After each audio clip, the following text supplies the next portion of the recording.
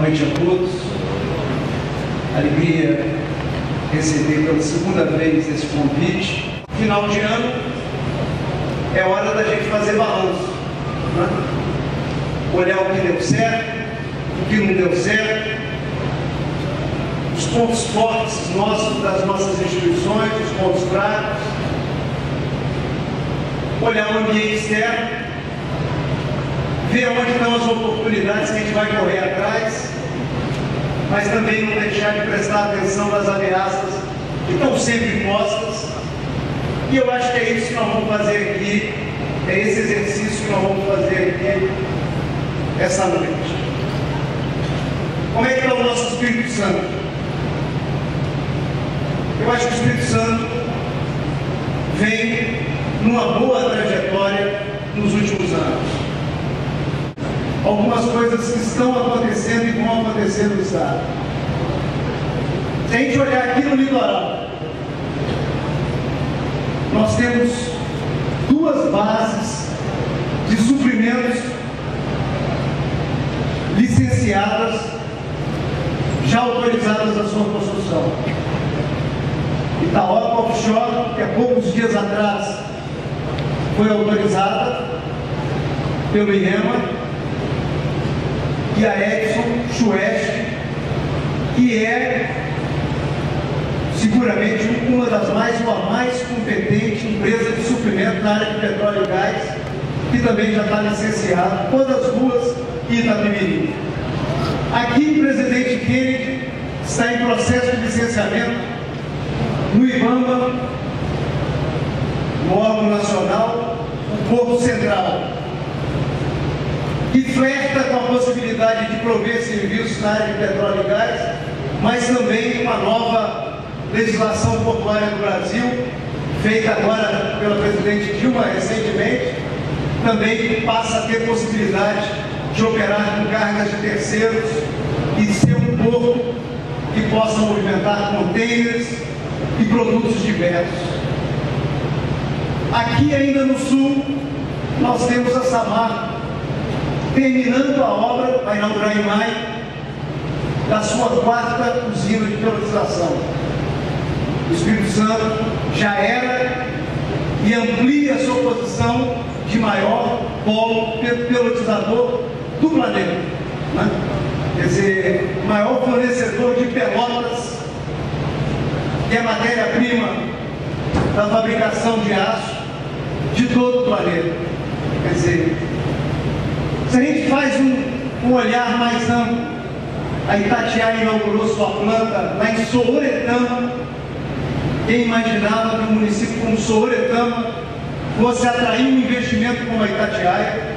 Está lá fabricando móveis, fogão, geladeira, a VEG Motores está construindo um enorme parque fabril em Linhares, uma empresa que está presente em muitos continentes, está na Ásia, está na Europa, está nos Estados Unidos, hoje está presente também fabricando motores no estado do Espírito Santo. A Itatiaia, eu disse, está em Soretama, a Bertolini, que é uma empresa tradicional do Rio Grande do Sul, deslocou sua operação, parte da sua operação, para Colatina. A Marco Polo, fabricante de, de, de ônibus, desloca uma parte da sua operação, a fabricação de ônibus escolares, para São Mateus.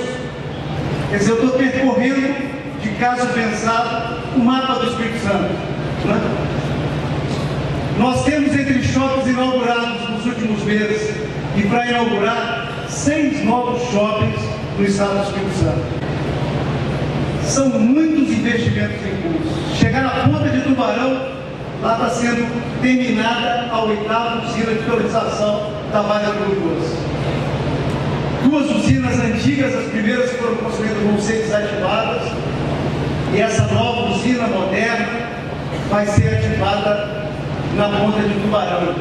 Quer dizer, se a gente chega em Aracruz, nós temos em Aracruz um terminal portuário pronto, que nem inaugurado foi, já está operando que já nos permite exportar GLP, que é o gás de cozinha, e C5+, que é um produto do gás, que é matéria-prima para a indústria química. Nós viramos exportadores. Nós somos, nós somos, nós produzimos o gás de cozinha que é consumido no Espírito Santo e já viramos exportadores de gás de cozinha para o resto do Brasil. Quer dizer, ainda em Aracruz, nós temos sendo construído uma luta dura, desde o dia que nós fomos lá em Singapura negociar a vinda desse estaleiro do Espírito Santo, nós temos a construção do estaleiro Jurong. O estaleiro Jurong já tem na sua carteira contratada sete plataformas de perfuração, um investimento de aproximadamente 5 bilhões de dólares, que vão gerar mais de 6 mil empregos no estado do Espírito Santo. Quer dizer, é uma senhora operação é, que nós estamos montando em terras capixabas. Talvez até o final do ano já ficou pronta, já foi inaugurada um 60% de componente nacional a P58, uma plataforma enorme de tamanho, com capacidade de produzir 180 mil barris dias de petróleo, e vem ancorar aqui no sul do estado, no Parque das Baleias. Vai produzir, tem capacidade de produzir 180 mil barris dia de petróleo e de processar 6 milhões de metros cúbicos de gás dia. Nós estamos hoje produzindo 12 milhões de metros cúbicos de gás.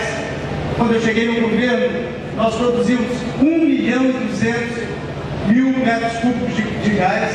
É só ver a evolução de 2003 para agora. Quando eu cheguei no governo, nós produzimos 14 mil barris dia de petróleo. O Estado do Espírito Santo produz hoje 320 mil barris dia. Quando eu cheguei no governo, a produção do Espírito Santo significava 1% da produção nacional. Hoje significa 15% da produção nacional. Nós estamos evoluindo para produzir, de 320 que nós estamos produzindo, produzir 400 mil barris dia de petróleo. E produzir alguma coisa próxima a 18 milhões de metros cúbicos de gás. Tem muitas notícias boas. Tem notícia ruim? Também tem notícia ruim. É da vida. Né? Nós perdemos, o ano passado, que passou a vigorar esse ano, nós perdemos o Fungar, com mais de 42 anos de operação, que organizou todo um setor de comércio exterior no Estado do Espírito Santo. Não só as trades, mas um conjunto de setores, transportadores, toda uma cadeia produtiva de operadores portuários e assim por diante. Temos